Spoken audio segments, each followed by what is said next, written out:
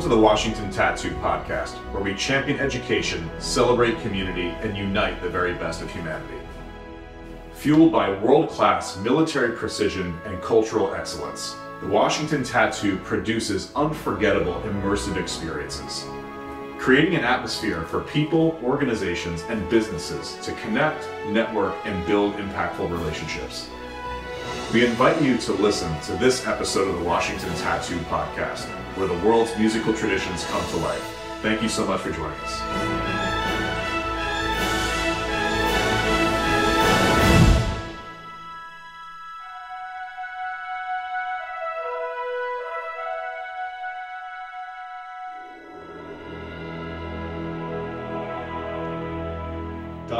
Thank you so much for taking the time to chat today. This has been a long time coming, and just want to say welcome to the Washington Tattoo Podcast. This is our first live in person version of this. It took a while for us to get here, but so grateful for you to be here today. My extremely, very mutual, my fellow veteran brother in the faith. Uh, so much love, respect, and admiration for you and the Washington Tattoo and all you've done. I was so happy to be at the inaugural tattoo.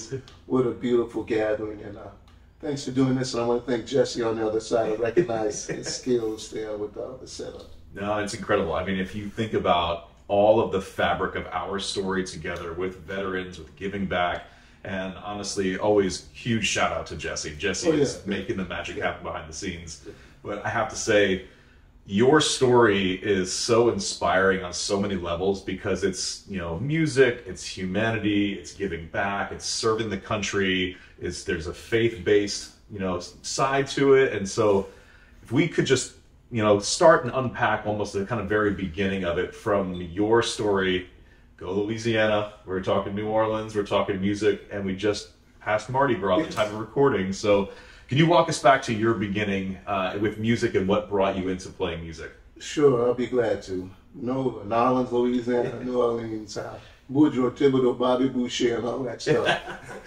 uh, I grew up in a pretty large family, uh, 13 of us, mom and dad. We were loved. Uh, and I'm my mother's baby boy. Mom played piano, and uh, she was a secretary also, so the same principle, you know, um, looking at the, not looking at the keys and all. So I remember her teaching me a little bit about typing and, and then listening to her play piano.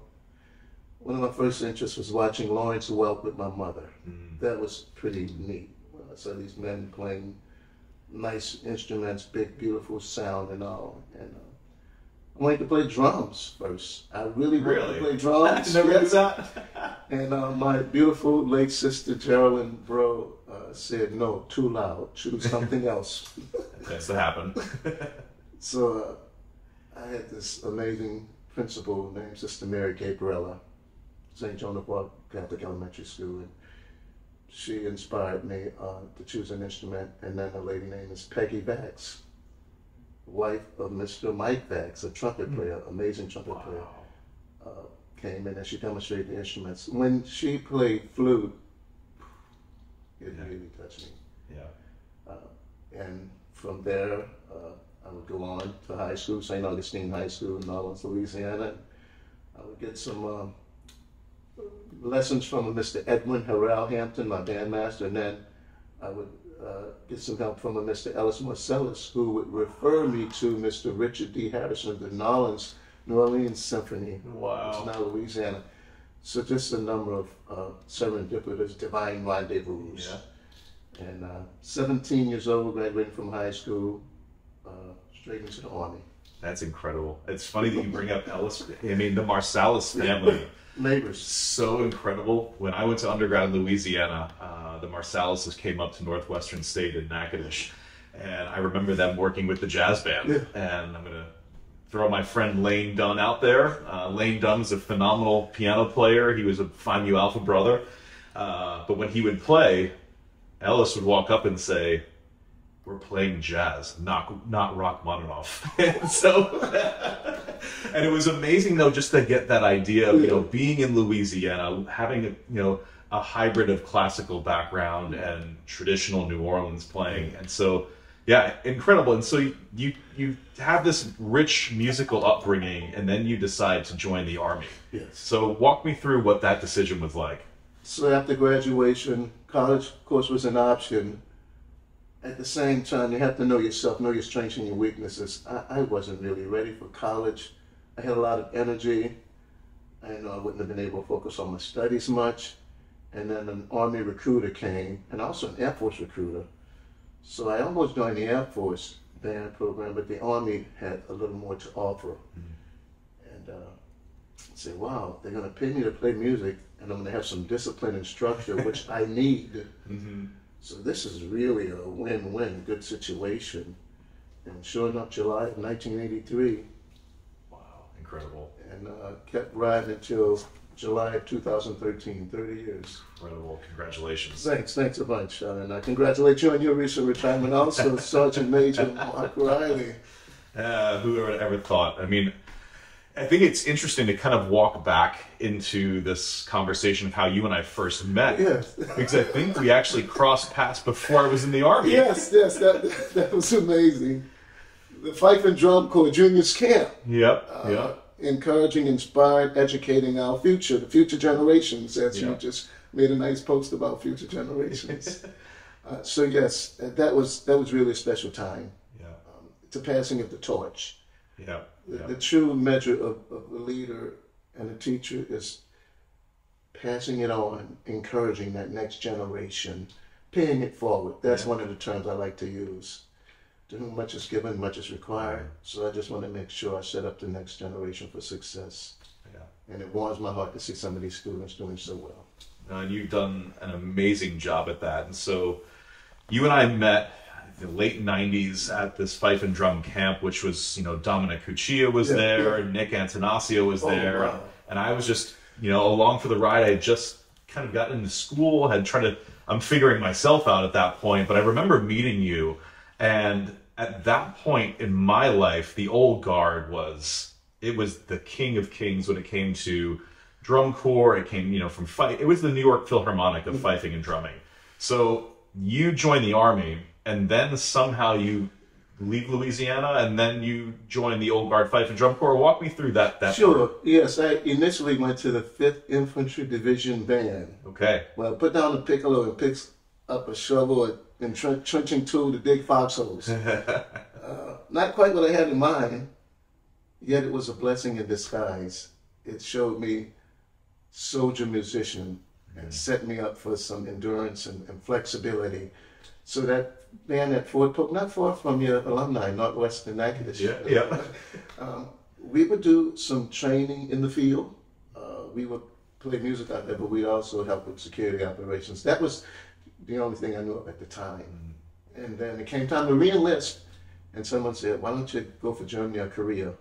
Uh, Germany was about 18 months or three years, depending on what you choose. And Korea was one year. I said, "I'll go to Korea." I have my option. They'll give me an option to go where I want to come back to. So I'll go to Fort Sam Houston, and I had all this in my mind. So when I go to the Eighth Army Band in Korea, I meet a beautiful young lady from South Korea and I extend in Korea and stay long. And next thing you know, I'm coming back married with a child. Wow. Go back to Fort Polk. They offered me the band in New York City, but my wife was pregnant with our second child, and I, I didn't want to go to a big city not knowing things. Uh, and I, felt more secure going where I knew. Mm-hmm. then I saw the Old Guard Fife and Drum Corps in Texas on a mission. They were temporary duty. And I said, wow, that's interesting. That's, that's different. Um, I'm going to try that. Yeah, yeah, yeah. It's a challenge and hence uh, Andrea Frankenfield, my school of music classmate, because I did go to school of music Andrea. at basic training. Yeah. And uh, she invited me. She said, "Why don't you try out for this?" And uh, it was really a great experience. Little did I know the trajectory I would totally change. Yeah, amazing. Well, and, and, I remember doing White House arrivals with you, yeah, yes. Pentagon arrivals, and being standing out in you know hundred plus heat. Oh 85, 90% humidity, and you can't move for 45 minutes because the dignitary may be late. Yes. Oh, by the way, there's an extra award on yeah. top. We're to stand out a little longer. Oh, and somebody missed a certain cue, and we're going to have to change the entire sequence midway through. So, fun times. Getting flashbacks. Getting flashbacks. Spirit of Americas, Twilight Tattoos. Yeah, yeah just, just some amazing journeys. Uh, the, I also like the military bond of, of the soldier musicians, and I'm fellow musicians in the Navy band, the Marine Corps, President's Own, the Commandant's Own, uh, the Air Force. We don't get to see much of the Coast Guard band in London, Connecticut, but we did do something um, that had some joint bands together at George Mason University quite a few years. It was really neat, the Air Force Ceremonial Brass. But uh, the camaraderie between military musicians is amazing. I want to give a shout out to uh, drum major of the Marine Corps band, Dwayne King, LSU graduate. Uh, we've had some great conversations. And a young Taylor Brownfield, Yeah, uh, yeah. amazing young drummer, um, very inspirational brother in the faith. We jammed together at Mount Vernon. So just so much to be grateful, so much to be thankful for. Well, it's interesting when you bring this up and this idea of military music. And historically speaking, each of those major port cities would have had a very large military presence. So, New York, Chicago, Louisiana, and specifically in New Orleans, when you talk about just the musical heritage there, and you think about the Mardi Gras parades, you think about the Marine bands playing, and these high school kids seeing and rubbing shoulders and elbows with these military musicians there's so much depth there of just culture. And i really always for me new orleans is my favorite city in in the united states. And it's just because there's this melting pot of american culture. And i think talking to you about this and seeing you know what you've done in your military career you're now really representing something quite unique now i think at mount vernon so could you walk me through maybe that you know end of army transition into kind of what you're doing today Sure. Uh, this year, 2023, is my 10th anniversary. We call it my Mount Vernon anniversary. when I retired from the Army in 2013, I immediately uh, had a little break. I had some leave saved up and off, but I would start working at Mount Vernon that summer also. And um, that's kind of an interesting story. There wasn't a musical slot there. Uh, there was a history interpreter slot. So I just wanted to be at Mount Vernon and learn some history and add some music. But you don't always get what you want right away. You don't always get it the way you want oh yeah absolutely so the idea is to get your foot in the door first. So um, I remember uh, after I retired, I did apply. They offered, and I was glad to accept. Uh, it's a nonprofit organization, so you know it wasn't the big bucks, but it is a nice. I can be content. I'm thankful for my military pension and all. And the other part was just the atmosphere of education and the environment such a diverse group of people. So I'm, I was the history interpreter. I am still a history interpreter, but now I'm also a resident fifer there. So I talk about music from enjoyable entertainment to critical communication. Alpha Company, fifers and drummers, Yeah. we can relate to that. Ceasefire, uh, these different calls, drummers call, um, assembly. So I'm trying to educate the youth on the importance of music during the Revolutionary War. So the program I do, I kind of have a couple of catchphrases: music, then and there, here and now, in between, before and after. The importance of music. Uh, I'll have a setup of various instruments on the table, uh, from fifes to flutes to whistles to panpipes, international. I have a collection of uh, 100 plus flutes. Some were given to me, some I purchased, and I've given some away also. And that's uh, what I'm doing at Mount Vernon. I'm loving it. I'm living a dream. I have to pinch myself sometime. and uh, it was really neat when Yeah. I saw you at Mount Vernon walking through the garden uh, a while back. Yeah. And, uh, we had a meeting there. So one of a kind job. It's amazing. I mean, so Mount Vernon really is the belly button where a lot of folks will have known about George Washington. They'll hear these iconic stories of the founding fathers, but now you're interpreting this history to that next generation. So, I mean, there's got to be some special moments that you've had there. And um, what, are, what are some funny moments maybe that you've had with Oh, some yeah, kids or something sure. like that? So I have a journal, and uh, Jesse will probably see a journal with that little purple book. And it, I journal every day. Some things are fun, some things are educational. You know, I'll, I'll talk about the visit of the Ukrainian ambassador. Uh, but one fun thing, uh, just a little side note, because you need stuff to keep you light. Uh, people bring dogs there. We're, we're very pet friendly. Uh, so they'll walk the dogs, and there was this big, giant uh, Tibetan Mastiff. Looked like a bear. They had a lot of hair. And the, uh, thank you very much, Jesse. And uh, the dog is friendly. I go to pet it. It's not very warm with me, but you know, it lets me pet it. And then a little girl comes up and pets the dog, and the dog just loves this little girl. Just you can see the difference. And uh, by the way, the dog's name is Samson. You want to guess the little girl's name? Delilah. Lila. Samson, you might want to be careful. Yeah, so just, just- just moments like that, uh, meeting people from France, Germany, Russia, England, Israel, Iraq, Afghanistan, Saudi Arabia, China, Korea, Brazil, South Africa, multiple countries from South America. We have citizenship ceremonies there. Yeah, yeah. They're amazing. And then our uh, George Washington will come out and welcome them to the country and give little lines like, I see that flag has an, an excessive amount of stars on it. I think you're being a little optimistic there. Love it. Just the, uh, the various uh, colleagues I have. Yeah. We, Yeah. uh, our job is to make each other look good. Yeah. Well, you you really helped me out. This is a personal story. This is going back to Spirit of America in Pittsburgh. So this would have been maybe 2010, somewhere in there. And I had an aunt Michelle who was my wife Corinne's aunt, and she was originally from New Orleans. And I remember being out there with my grandma, my, my mother-in-law now, Grandma Carmi, we call her.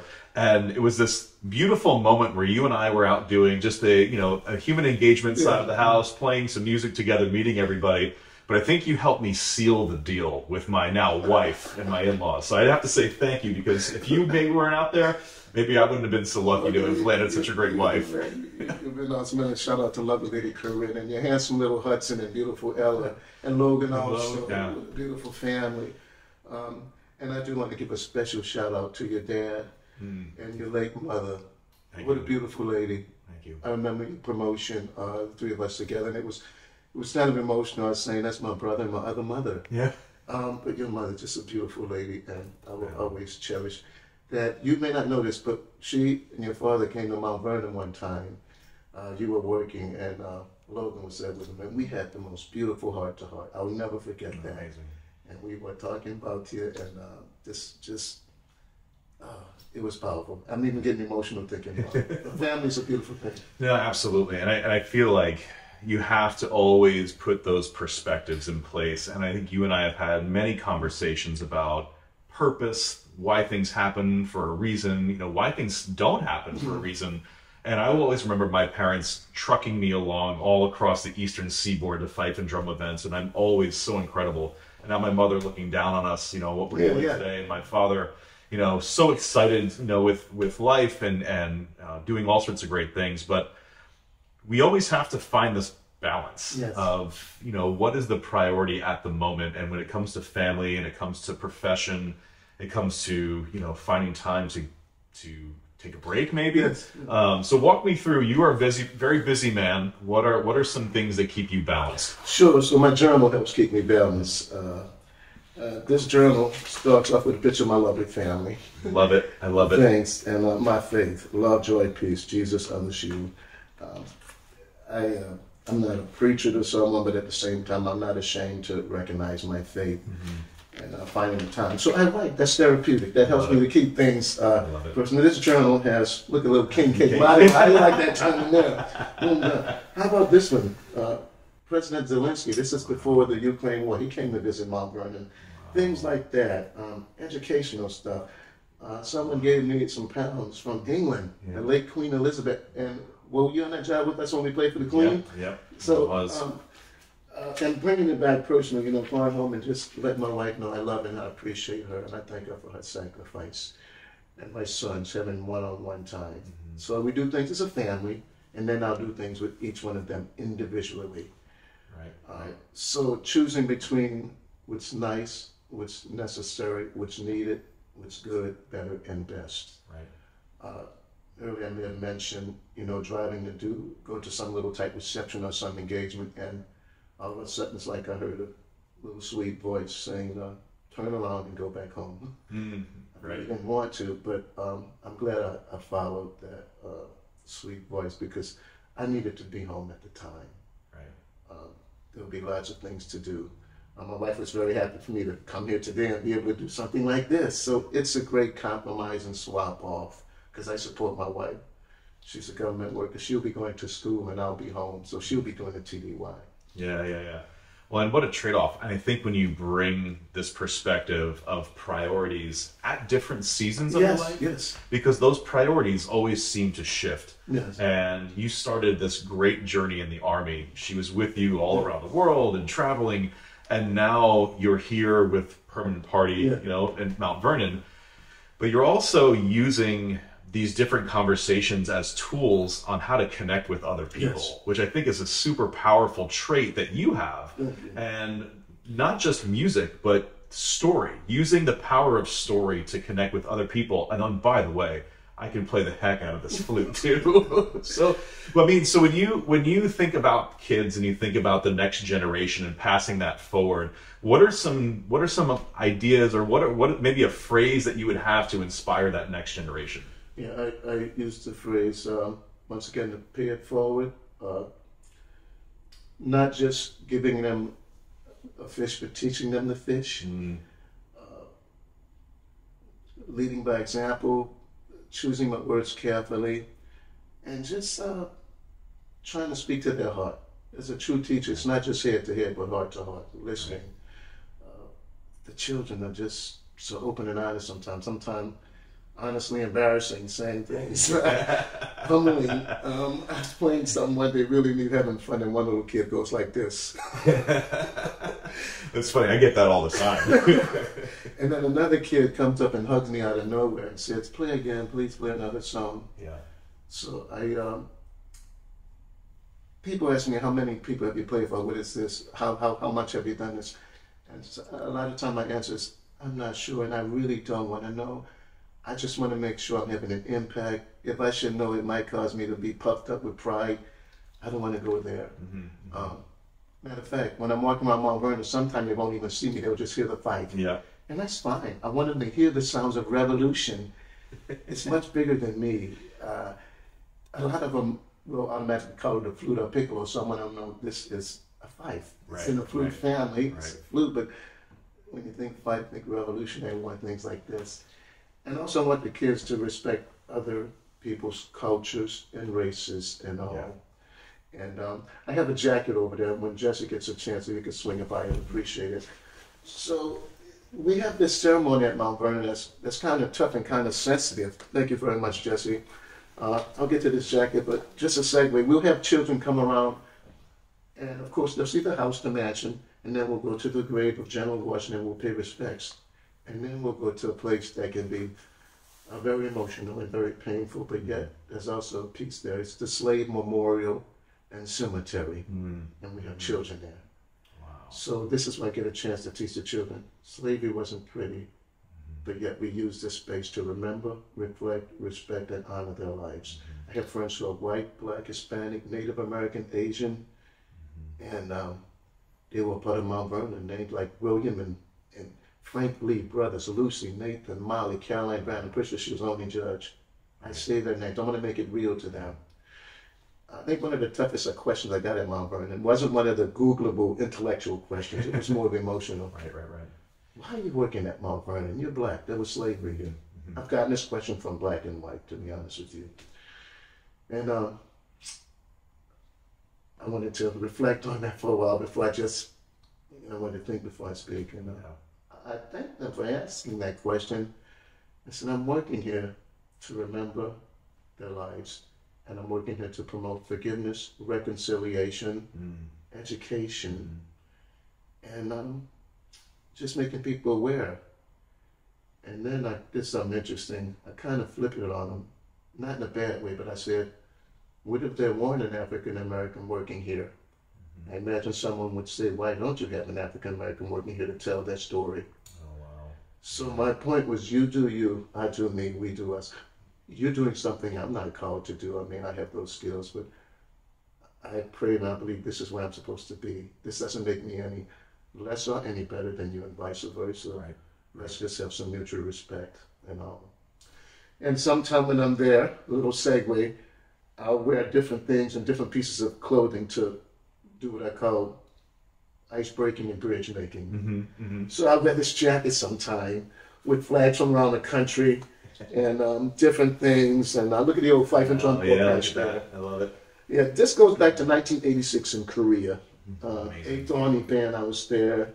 And each patch has a story. Fort Hood, the Cavalry. Um, that's really what I'm about. Um, sometimes you don't have to say a word, and people will walk up to you. Fort Benning, follow me. Uh, my friend was a tomb guard. He gave me this. Amazing. I'm not tall enough to be a tomb guard. This is Fort Polk, the 5th Infantry Division, honor guard, our patch. We wore that. Military District of Washington. So these are the things that really um, help and encourage me and inspire me. And of course, the kids are attracted to something with a lot of colors. Right, right, right. You know, Screaming Eagle, uh, one of which Airborne, uh, Air So No, and so I can go on and on about this jacket. Were you on the Fort Drum trip with us? Yeah. Yep. Climb the Glory, the 10th Mountain Division.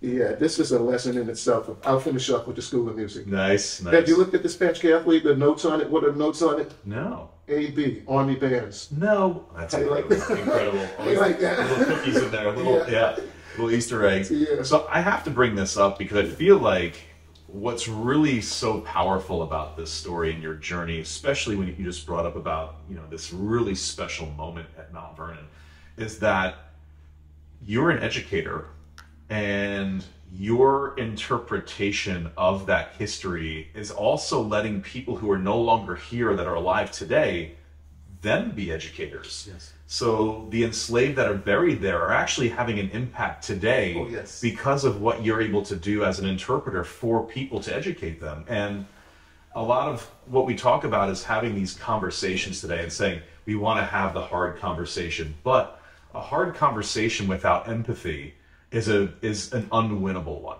And I think what's beau- beautiful about music and beautiful about literally having an empathetic conversation, an authentic conversation, is taking something that's hard to talk about, putting yourself in that other person's shoes, which we may never really be able to do. But if we could shed the skin or maybe melt some of the ice of that hardened heart to understand someone who's completely different than us, that is such a powerful move forward for humanity.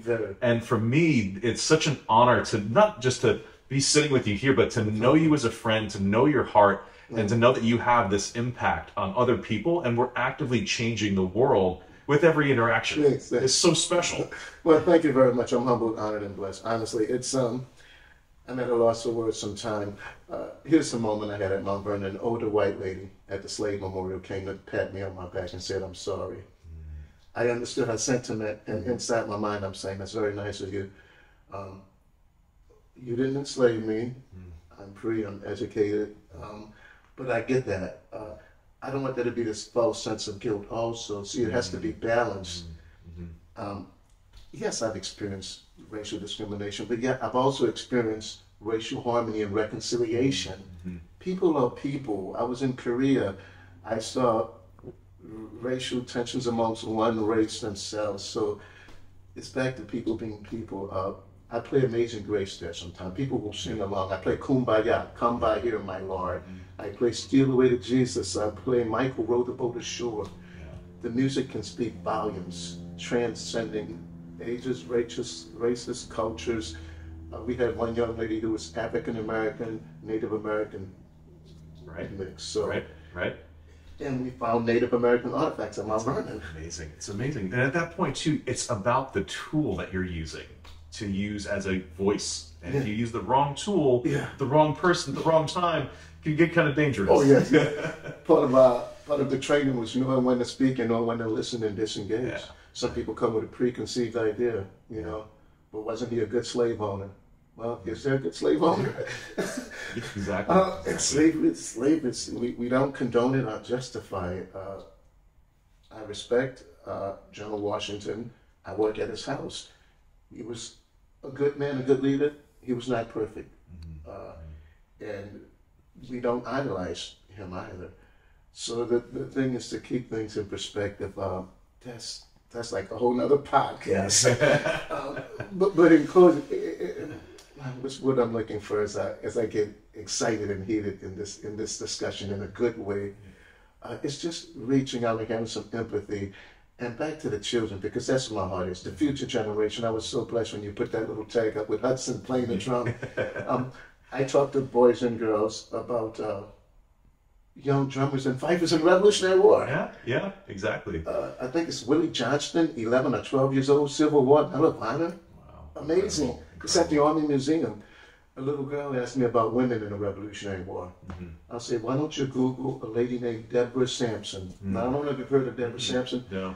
Deborah Sampson is like the Mulan of the Revolutionary War. Wow. She dressed up and disguised herself as a man. Wow, incredible. Later on, she would be discovered about a year later, some injuries and all. Yeah, yeah. So there's just so many untold and hidden stories out there. Um, we're just scratching the surface right now, but it's neat to be at the right place at the right time, Yeah. uh, sharing history. That's incredible because I mean, when you talk about story, we all have our own Oh, story, yes, and everyone is proud of a piece of their story. And we talk about the power of music with children. And I often bring up in you know music class or band class that kids sometimes don't come from the greatest homes, Yeah. and so music to them is this outlet. Or people even today who are suffering from PTS or TBI. That musical outlet, it provides community, it provides identity, it gives them story, it gives them a way to connect with others around the world. And I feel like between our conversations next, you are always looking to find new ways to connect people and bring them together. So, what would be what are some things on your horizon at the moment that you're looking at? I'm constantly updating my little PowerPoint slideshow. I don't know if I've emailed it to Jesse and you yet, but I will. It has different um, little quotes of fife and drum. It has current day things. It has some fun educational things. So going out to schools and communities. Also, I'll play at senior citizen homes sometime, memory loss. Music is amazing. When I play for some of the senior citizens who are going into dementia all times, I'll play a song and they'll start singing along and Wow. and uh, my late mother passed away of Alzheimer's, so that has a special place for me. Um, so it's to just be prepared, have a plan, and be flexible, uh, and be willing to adapt. Yeah. Uh, knowing the difference between the detour and the distraction. Yeah. Yeah. I- Sure. I've struggled with both of those.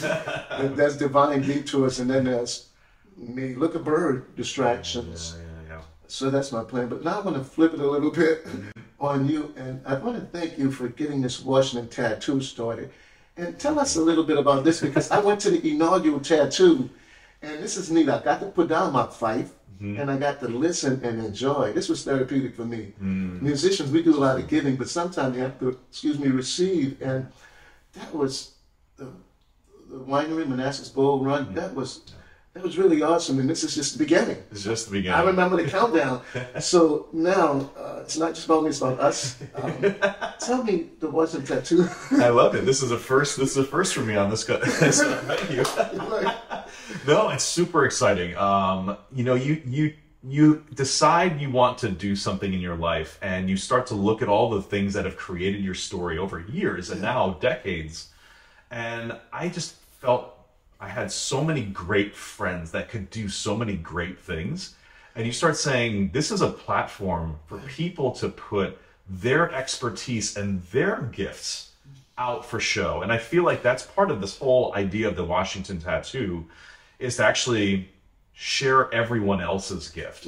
And so if I could help facilitate that, yes, I love to drum. Yes, I can keep playing. I can keep teaching. I love those things. But to make the biggest impact possible, what does that look like? And I'm going to go back on this. This is I'm going to blame TD Jakes for this.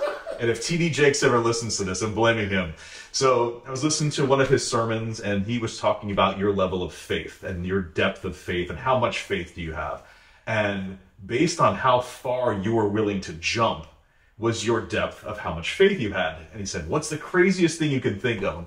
I was, Oh, no, I don't know. I, you know, I could probably put on an international tattoo. And I went, This is.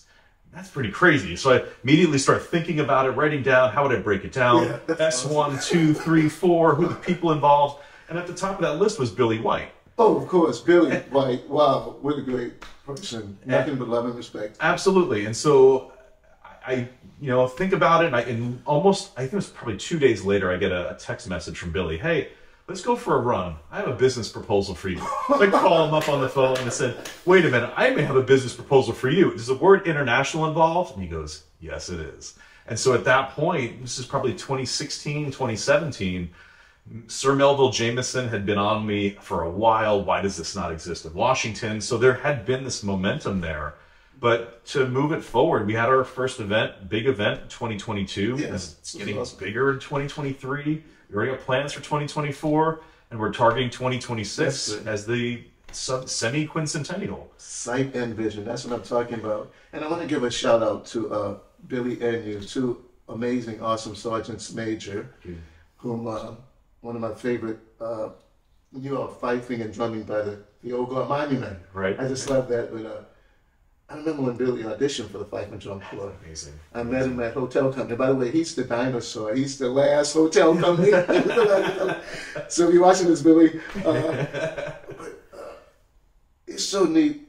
Uh, we have such a great relationship. His lovely parents, uh, his young brother Charlie, Yep. yep. um, his beautiful children. Taylor's born on Yorktown Day, October 19th. Julianne is born on July 4th. It's amazing. And lovely lady Julianne, Julie, how are you? Um, see what I'm talking about, relationships like that. But uh, so when people compliment me, I thank God. I thank them. I thank God, and then I thank the people who have inspired and encouraged me because I didn't get here by myself. Um, I am a stronger follower than leader. I have led, I can lead, but I prefer to support leaders. Mm. So when I see Billy and you, I just see great leaders. And to me, that's just strength. Leaders need followers, followers need leaders. Know your place. There was an old motto, leader, follow, get the heck out of the way, something like that. so I don't want to be in the way. I want to be a part of the solution, not a part of the problem. Yeah, absolutely. So, um, yeah, I, um, I'm so grateful. Matter of fact, I wrote an article a while back, quite a few years, on the Company of Fifers and Drummers mm-hmm. thing, and I gave some shout outs. One to Billy and one to the late Susan Moser. yeah, absolutely. Uh, wow, we what an amazing human being, lady soldier, mother wife. Just yeah, I mean the loss that we experienced, but the community coming together also. I think it's so powerful. And honestly, Don, I think your story is so gripping, it's so compelling. And, you know, the people that are going to watch this, you know, and listen to it, we really want them to take away how music can be that tool for so many things. And I just want to say thank you so much for Oh. the time today. Thank you so much. Uh, I want to thank Jesse again. I was actually a little nervous doing this podcast. I know we talked about doing a virtual one, but I wanted the energy in the room. Yeah. And uh, this is just an amazing location. Uh, I want to thank you again, and I want to salute the Washington Tattoo. And I know we're going to say, we could have talked about this, we could have said this, we could have said that, but we said what needed to be said. And uh, I thank you so much. All the best. So thank you so much. Thank you very much, Mark. Appreciate it. Hey everyone, this is Mark Riley again. We want to share a great opportunity with you to get your business name out to our listeners. We are looking for individual episode and yearly sponsors for the Washington Tattoo Podcast. So if you love music, history, and want to support military veterans, please take this step with us and consider being a sponsor. For information on that, please email marketing at thewashingtontattoo.com.